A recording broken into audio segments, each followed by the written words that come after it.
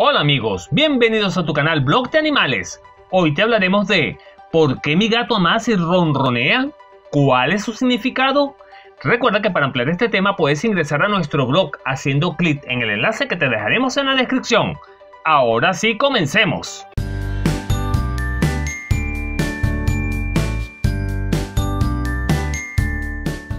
Aunque tú no lo creas, los gatos nos quieren y su forma de demostrarlo es amasando. Así se descarta eso que dicen por ahí que los felinos no son afectuosos con los humanos. ¿Por qué hacen eso? Por instinto. Son movimientos que aprendieron desde cachorros. Al momento de amamantarse, ellos con sus patitas le hacían masajes en la barriga a la madre para obtener la leche. Por eso, siéntete afortunado cuando tu gato amasa. Ahí te está demostrando que te quiere.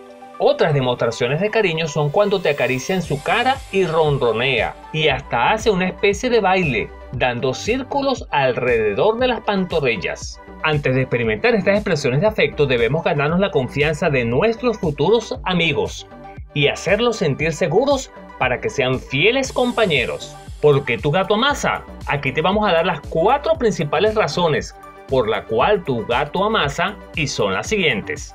Primero, instinto desde que nacen. Lo hacen mientras la madre los amamanta. Esto es para que la leche materna fluya a través de la estimulación del amasado con las patitas. Segundo, marcan su territorio. Lo hacen contigo porque eres su dueño, como una demostración de amor y de afecto. Científicamente hablando, ellos tienen unas glándulas de olor en las patitas y al amasarte, ellos te marcan, igual que a su territorio.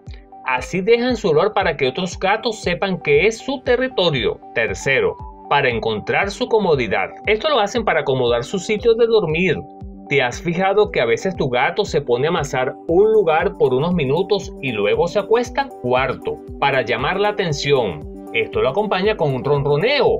Ellos lo hacen cuando tú lo has descuidado por mucho tiempo, no les haces cariño y a los gatos también les gusta que le hagan cariño y caricia. ¿Por qué tu gato ronronea? Todos los felinos ronronean desde el más pequeño hasta el más grande de ellos. Hay teorías sobre el porqué del ronroneo de los gatos. A este sonido se le desconoce el origen, pero una de las teorías científicas que habla de ellos dice, estudios respaldan la hipótesis de que son los músculos de la laringe del gato, que temblando veloces provocan una dilatación de la glotis y su inmediata regresión, cuya veloz actividad causa más vibraciones al inhalar y exhalar el aire al respirar toda esta mecánica física provoca el ronroneo.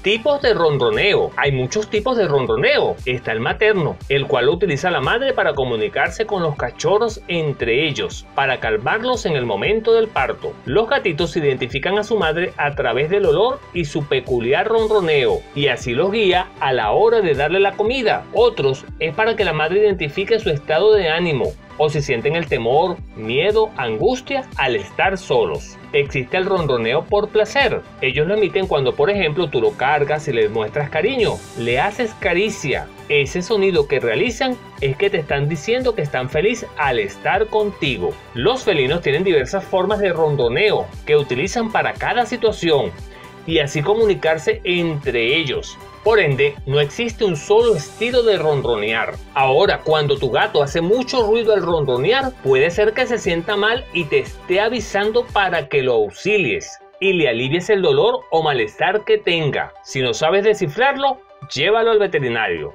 Esperamos haberte ayudado a conocer por qué tu gato amasa y ronronea y lo que esto significa. Recuerda que contamos con tu apoyo mediante un like o un comentario. Suscríbete al canal que es totalmente gratis y activa la campanita de notificaciones para que YouTube te avise cuando subamos nuevo contenido. Hasta la próxima amigos.